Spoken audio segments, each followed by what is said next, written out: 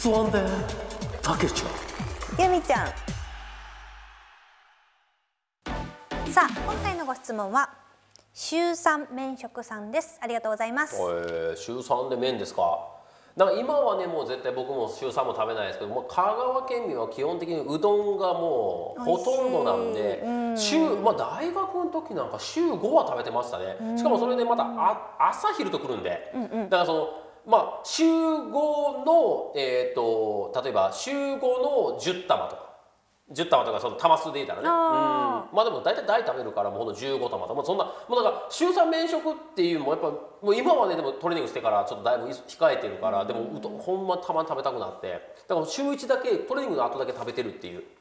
もうなんかその厳しい。だってあのもうこんなんですけど香川県のうどんって500円食べたらもう目いっぱい食べれるんですよ。この500円の昼食を食べるために頑張ってるっていうなんかなんか何が幸せなのかわからなくなってるね最近、うん、いやでも麺は美味しい。うどん美味しいね香川ね。美味しいよもうね、本当に麺いいよ。とい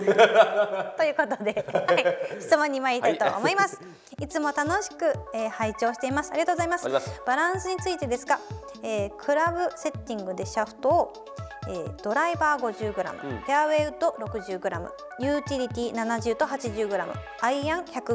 ウェッジ 120g ですが、バランスはバラバラです。うん。ドライバーからウェッジまでバランスを合わせた方が良いのでしょうか？それともバランスからウェッジにかけてバランスを上げていくのか下げていくのかどちらのパターンが理想的なのでしょうか？ご教示お願いします。とのことです。なるほど。まああのバランスの話っていうのはこれまでも結構質問で出るんですけどもまああの別に特に正解っていうのはないんですよね。特に正解っていうのがないので別にそれぞれのクラブが打ちやすかったらあんまり気にせずにもうそれでそのままいけばいいっていうのが僕の回答なんですけども。で前ずっと言ってますけどバランスの概念っては今後多分消えていくだろうなっていうのもありますから別に本当にそれぞれのクラブが打ちやすかったら別に気にしなくていい。でも残念なことに一度見てしまうとそのやっぱ気になるのが人間の差かなと僕は思ってるんですね。だから例えばこれは D1 でこれは D3 でこれが D5 やったとかってなってきたらなんかこれいいのかなと思うじゃないですか。打ち方変えていくのかなって思ったんですよ。ななんかねそうそうそうなるんですけどだからあまあ一度知ってしまってそれがもう気にものすごく気になるんやったら揃えた方がいいなるほどね、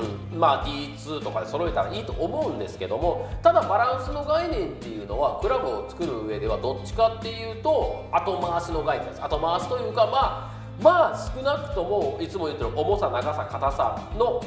後の後ぐらいに来るかなとかっていうところなんでまああのそこを一番に考えてその他の部分ってを犠牲にするぐらいやったら何ら気にする必要はないっていうことですね。だからまあとにかくバランスを第一に考えることだけはやめた方がいいっていうことですねであとまあ組み方としてはさっき全部統一した方がいいとは言うたんですけども例えばアイアンなんかはロングアイアンからショートアイアンにかけてバランスを徐々に重くしていく。これは何かというとクラブの長さが短くなっていけばヘッドの効き感っていうのが効く感じっていうのは短い方が効きにくくなるので短いあのウェッジに行くごとに少しバランスを上げていくっていう方法はありますね。で実際あの代表ではボーケのウェッジなんかすごい重いバランス出てるんですけどそれはヘッドを効かすためもしくはあの短く持つ。あとは、まあ、ボブ・ボーケさん設計者の考え方としてウェッジは少し柔らかいシャフトになった方がいいってことでヘッドをあえて重くしてシャフトをしならせるっていう方法ですね。だからそういう考えもあるのでまあ徐々にどっちかっていうと短いのを重くしていく方がアマチュア向きなのかなって思う反面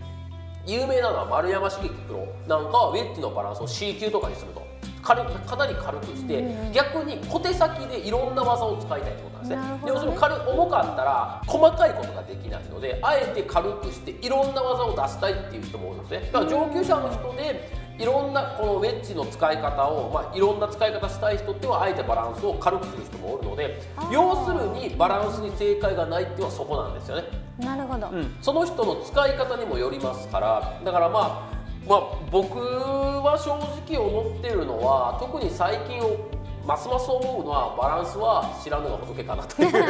方が思ってます。測ったら気になるというところですね。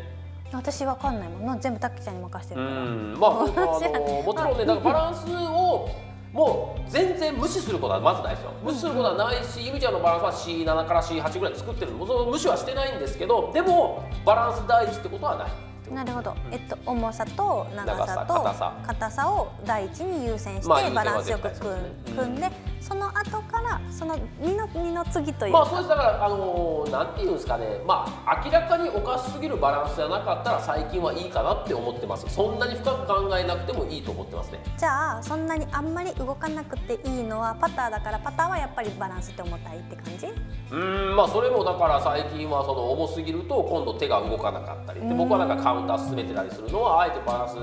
僕のあの入れるパターンなんかバランス B 台ですからね。レディースのパターンより軽いですから。なんか何が正解ってことはないです。あわかんないね。わかんないなるほど、うん。そういうことか。ということでではバランスだけで、えー、とクラブを選ぶっていうのはやめてください。まあそういうことですね。まさにその通り。はい。わかりました。それでは週三免職さん、えーご参考になりましたでしょうか？それではササンデーだけちゃんゆみちゃんまた来週飛び切りやない。な え大丈夫？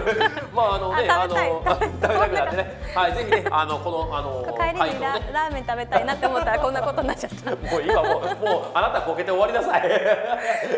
チャンネル登録高評価でたけちゃん。ゆみちゃん。動画にすぐにアクセス。チャンネル登録よろしくお願いします